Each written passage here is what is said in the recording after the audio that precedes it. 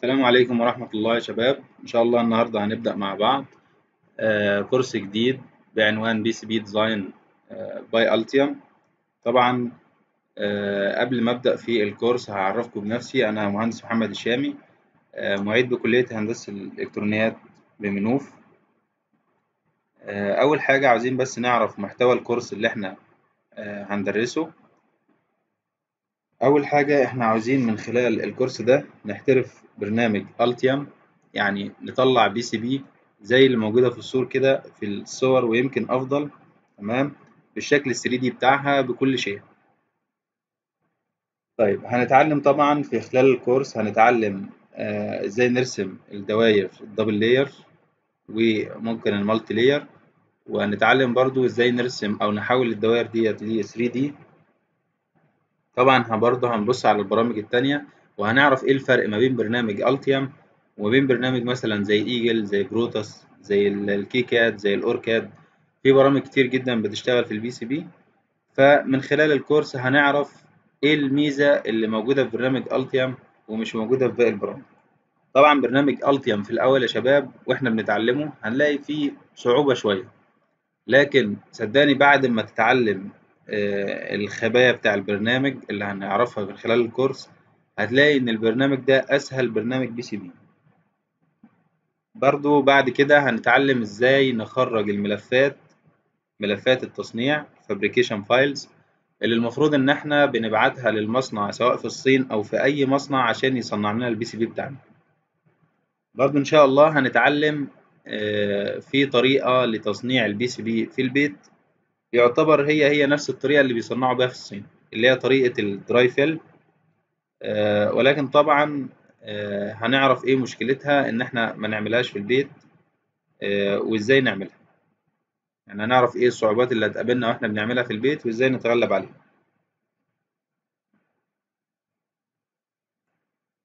بعد كده شباب عاوزين برضو نتعلم إزاي نصمم ال libraries يعني مثلا لو أنا عندي عنصر زي اللي في الشاشة ده مثلا ده ATmega.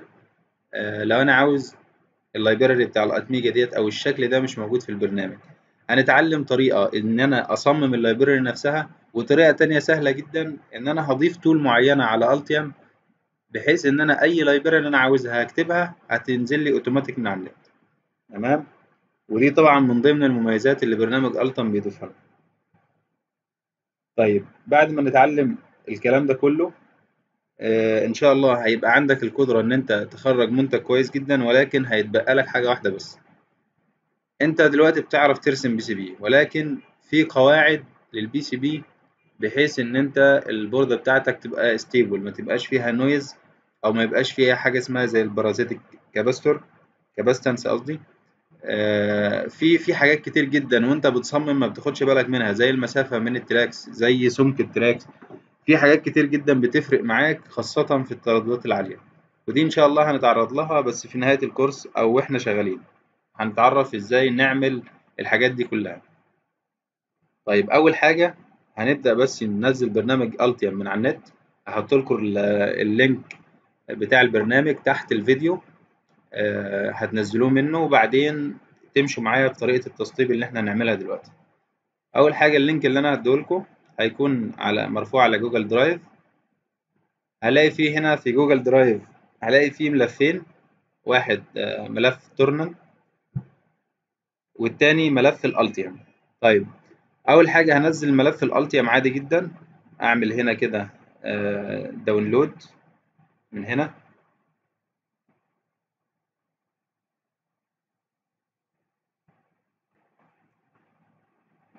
خلاص يا شباب إحنا دلوقتي عملنا download للملف ده.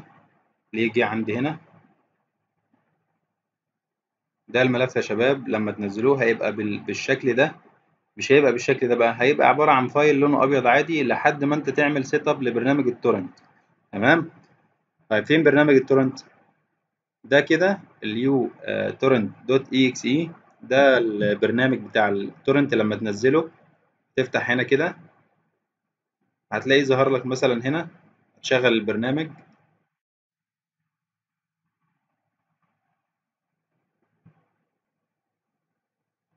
لما تشغل البرنامج يا شباب هتلاقي إن ال- الملف ده ظهر عندك كده.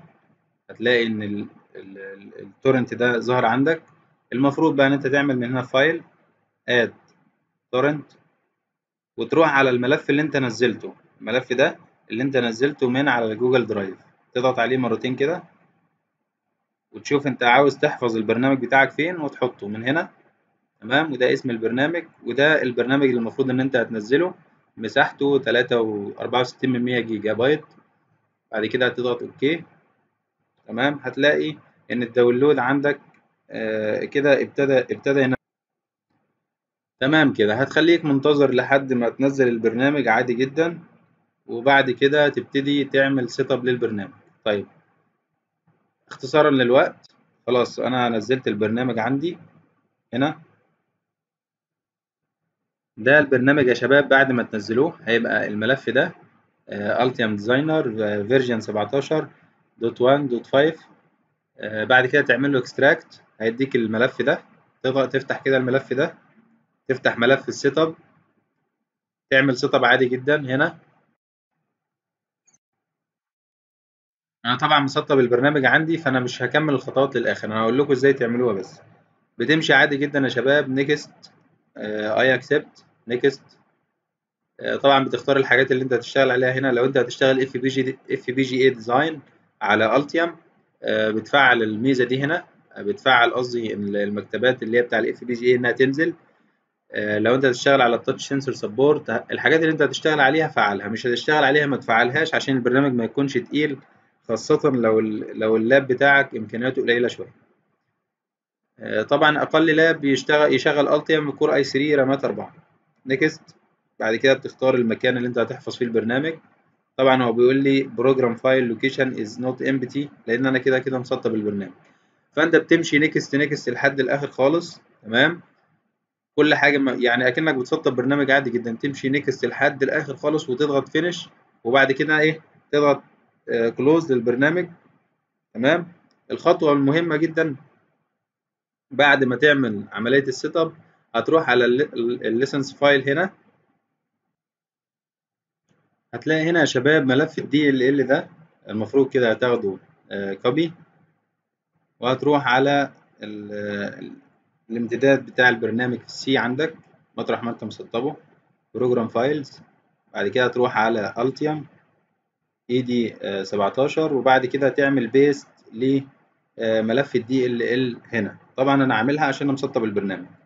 طيب بعد ما تحط ملف ال DLL هنا تعمل إيه؟ هتروح تشغل برنامج ال Altium تروح تشغل البرنامج عادي جدا. أول ما البرنامج يفتح لك هتلاقي الصفحة اللي قدامك دي. طبعا أول أول ما تفتح البرنامج هتلاقي الخط الأزرق ده عبارة عن خط أحمر وبيقول لك إن البرنامج not active يعني مش متأكتف. فأنت هتعمل إيه؟ هتيجي هنا كده تعمل add standalone license file تفتح كده هتفتح الملف بتاع البرنامج اللي أنت نزلته من على من على النت. تفتح هنا work اكسسوارز Altium برنامج أنا حاطه هنا في الملف ده. افتح البرنامج عادي افتح ملف license files بعد كده أختار أي واحدة من دول. لو أنا اخترت الثانية مثلا تمام؟ هتلاقيه قال لي إيه هنا؟ هتلاقيه قال لي Altium Design دي Altium Designer OK valid لحد 2028 تمام؟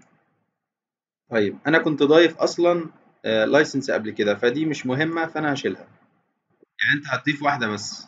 ما تضيفش اتنين ضيف واحدة بس. أنا هنا ضايف واحدة فهو قال لي valid to 28 سبتمبر 2028 يعني فعله لي تقريبا تسع سنين. تمام؟ لحد كده إحنا عملنا setup لبرنامج Altium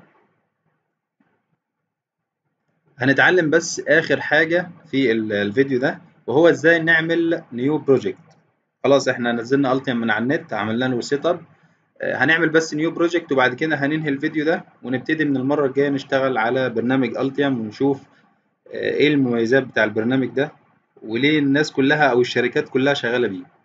من هنا يا شباب كده هاجي على system اضغط هنا system لو أنتم شايفين اضغط هنا system بعد كده files هروح اليمة التانية كده هلاقي في ملف اتفتح لي اللي هو ده يا شباب.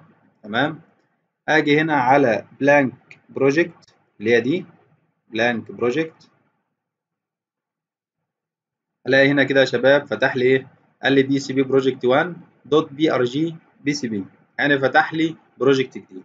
طيب أي project PCB أنا بعمله يا شباب بيبقى جواه حاجتين. بيبقى جواه schematic وبيبقى جواه PCB هاجي هنا right click وأعمل add new schematic تمام؟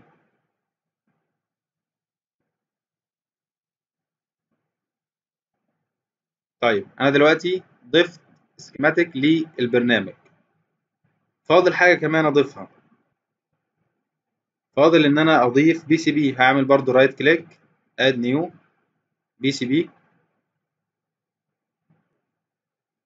كده يا شباب أنا ضفت schematic وضفت PCB لل project بتاعي. فاضل حاجة واحدة بس أعملها قبل ما أشتغل إن أنا أعمل save لل project بتاعي. أعمل save project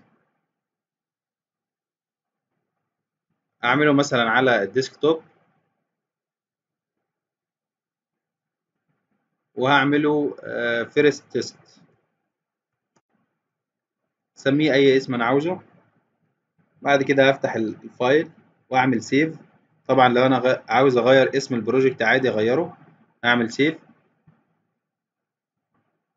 لو لاحظتوا هتلاقيه فتح لي ال save تاني. ليه؟ بيقول لي أنت دلوقتي حفظت ال project. طيب احفظ لي ال schematic. تمام؟ بعد كده هيفتح لي تاني عشان أحفظ ال PCB لو أنتوا واخدين بالكم. save. كده خلاص أنا حفظت ال project وحفظت ال schema اللي جواه وحفظت ال PCB بتاعتي. إن شاء الله من الفيديو الجاي هنبتدي ندخل على طول في برنامج Altium ونعمل دوائر في الأول بسيطة. بعد كده هنتعلم دوائر معقدة شوية. بعد كده هنتعلم إزاي نعمل signal integrity للدوائر دي. وإن شاء الله نتعلم إزاي نعملها 3D وشكرا والسلام عليكم ورحمة الله وبركاته.